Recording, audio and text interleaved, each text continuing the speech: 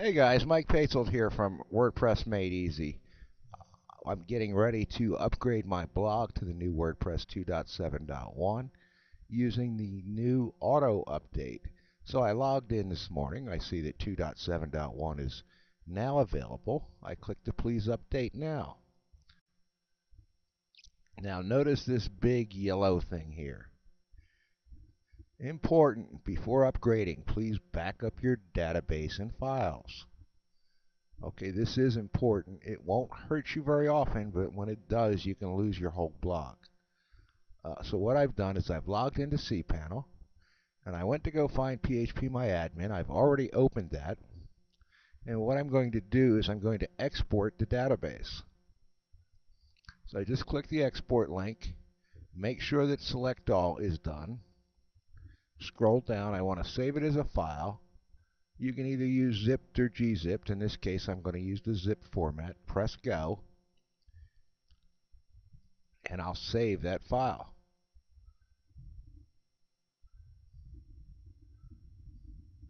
And I'll just save it to my desktop. Because this is not the computer that I normally do my backups on. I keep the backups on a hard drive and I can just close that out. The other thing I want to do is I do want to go and pull some files. Okay, I've already started to pull the themes folder and the plugins folder from within WP content because I will want to have those in case there's any problems or something gets overwritten, especially if you're using the default template. This will take me a couple minutes to download, the same as it takes a minute or two for to pull the database. But this will save me a lot of aggravation if I have any problems. So I'm just going to pause while this continues to download. Okay, that's downloaded. The other thing that I always like to grab is the configuration file. So I'm going to go find the wp-config.php and I want a copy of that too because that has all the information if I have a problem on what my database passwords and stuff are. Now I can go back to where I was and go back to the blog. I've, I've done this first step. Just click Upgrade Automatically.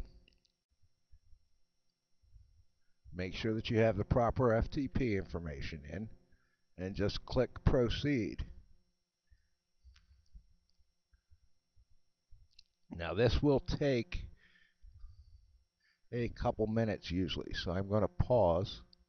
It's already pulled down the new version, but I'll pause until it's finished.